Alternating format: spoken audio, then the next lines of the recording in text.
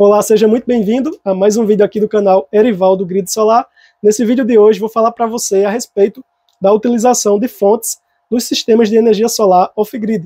Essa semana estou realizando um teste no meu sistema de energia solar off-grid com uma fonte e vou falar para vocês um pouco a respeito dessa utilização. Então, se você já gostou desse tipo de conteúdo, deixa esse like para fortalecer. Se você ainda não é inscrito aqui no canal, não perca essa oportunidade. Clica aí no botão inscreva-se Marque também a opção do sininho para você receber sempre notificações de quando eu postar os vídeos. E vamos lá para o que interessa. Pessoal, é, desculpem um pouco a bagunça aqui no meu sistema de energia solar off-grid, porém estou fazendo um teste bem legal e é importante trazer informações para vocês. Eu vou até nesse momento desligar aqui essa fonte para evitar um pouco esse barulho. Depois eu ligo e explico para vocês aqui exatamente o que, é que eu estou fazendo. Pessoal, é, durante a semana passada, eu fiz um teste com essa fonte chaveada no meu sistema de energia solar off-grid, com o objetivo de manter a estabilidade da tensão do banco de baterias, evitar aprofundamentos de tensão, pois isso é muito importante para quem usa sistemas de energia solar off-grid, para evitar sulfatação no seu banco de baterias, nas suas baterias, e também aumentar a vida útil do banco de baterias, só que eu já falo para vocês, da forma que eu estava utilizando aqui essa semana, essa fonte não é legal. Eu estava utilizando essa fonte com essa plaquinha aqui, ó, a HW631, que até apresentou problema, tirei ela do meu sistema. E eu estava utilizando essa fonte aí o dia todo. É interessante falar para vocês que essa fonte durante o dia é para ela ficar parada, em stand-by. O sistema é quem vai se encarregar de manter aí suas baterias carregadas e seus equipamentos funcionando. Vou mostrar para vocês aqui, ó, nesse exemplo. Nesse momento, a geração dos painéis aqui, ó, 122 watts apenas. Tensão do banco de baterias 27.6 volts, descendo apenas 4,4 amperes. Mas o banco de baterias está em flutuação. As baterias estão totalmente carregadas o sistema aqui ó, está pela rede da energia solar. Então essa é a intenção. Durante o dia o sistema ele tem que funcionar assim.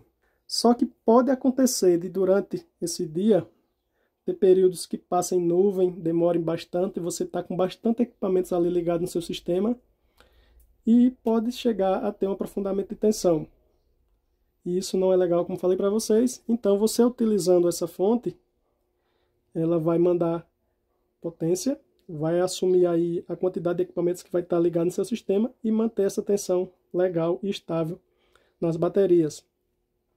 Observem a programação que eu fiz aqui nessa plaquinha. Essa é a plaquinha, pessoal, XH-M604.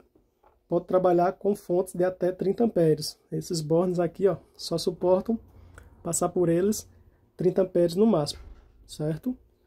Então vou mostrar a configuração Deixei aqui, ó, tensão mínima, tensão de corte, 24.8 volts.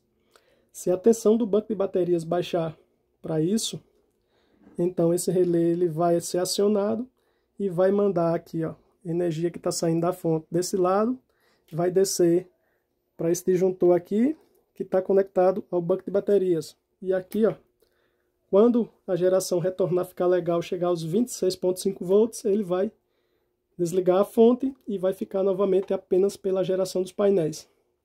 Pode acontecer isso também em dias que está a geração normal e começa a chover, principalmente aí próximo a esse período do inverno, né? Pode acontecer isso constantemente. Então, dessa forma que eu estava utilizando durante o dia ela, e à noite, pessoal, o que é que acontecia? Eu estava ainda ficando com essa fonte conectada ao sistema, a tensão baixava sempre um pouco ali, né? Da tensão que estava durante o dia. Eu tenho a geladeira aqui ligada no meu sistema. Então a geladeira ela entrava, tinha aquele aprofundamento de tensão. Então a fonte era ativada, ficava mantendo a geladeira ligada e mantendo a tensão do banco de baterias. A geladeira saía, por ela carregar ainda um pouco o banco de baterias, ela depois saía, cortava, voltava para a rede da energia solar. E assim ficava com esses ciclos. Geladeira entrou, ela assumia, né, saía, ela ficava pela rede da energia solar e ia consumindo. E isso consome bastante da rede da concessionária, que não é o legal, não é o objetivo da gente. A gente que utiliza sistemas de energia solar off-grid, nosso objetivo é usar o mínimo da rede da concessionária, se tornar o mais independente possível. Vou mostrar até o print para vocês aqui na tela de quanto é que estava consumindo essa fonte aí no meu sistema de energia solar off-grid durante essa semana. Porém, agora, com esse teste aqui, eu quero manter essa fonte ligada apenas durante o dia.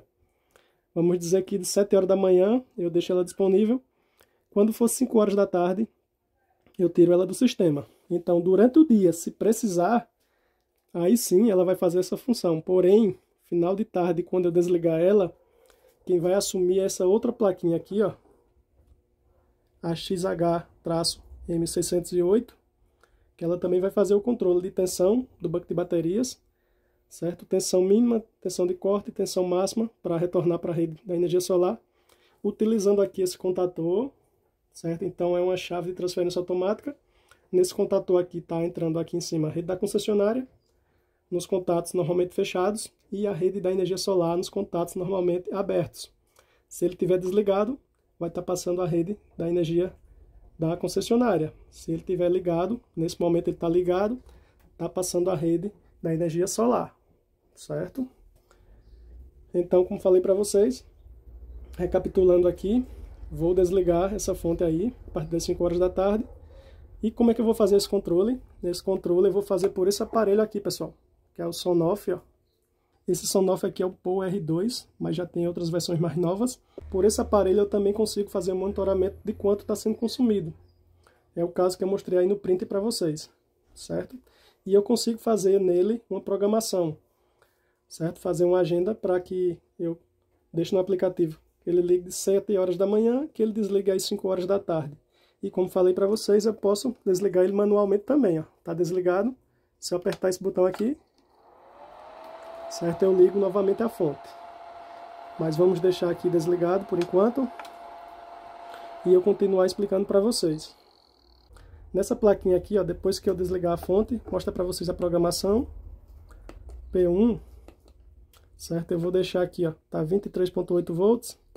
Eu vou deixar aqui, ó, 24, certo? A tensão de corte para que transfira para a rede da concessionária, certo? P2, Atenção para retornar quando restabelecer o sistema, a geração estiver boa, chegar o banco de baterias ao 27.7 volts, então ele retorna, certo? Vai ficar aí pelo sistema de energia solar.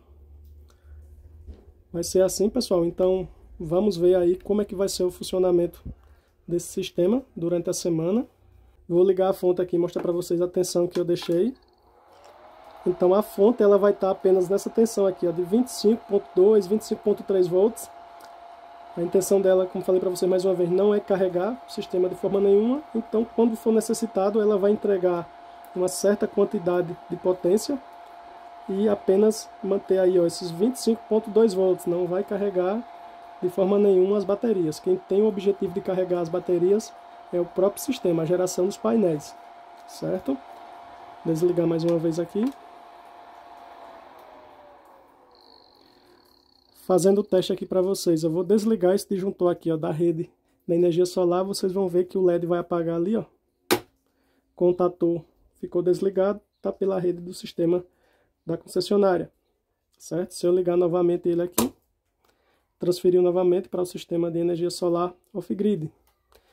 Então depois, prometo a vocês, se esse sisteminha ficar legal, se valer a pena utilizar assim a fonte durante o dia usar o mínimo possível dela, só para não ter esse aprofundamento do banco de baterias.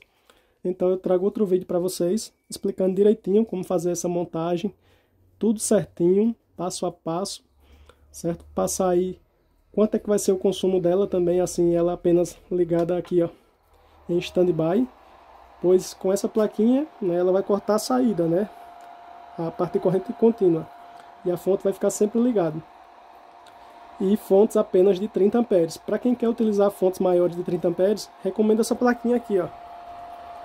Certo? Você utiliza ela, faz a automação para você colocar uma tomada aqui na saída desses contatos e você desliga a fonte por inteira, a parte né, de corrente alternada. Já mostrei isso no vídeo anterior, se você ficou curioso em ver aí, vou estar tá deixando esse link do vídeo na descrição do vídeo e também no comentário fixado. Certo? Dá uma passadinha lá que fica bem legal também utilizar essa plaquinha aqui para você utilizar uma fonte aí de potência maior, certo?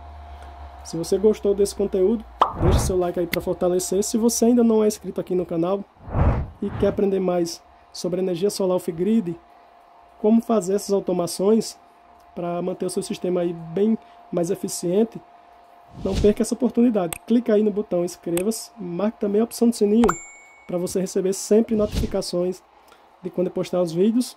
Um grande abraço, fique com Deus e aguardo aqui nos próximos vídeos.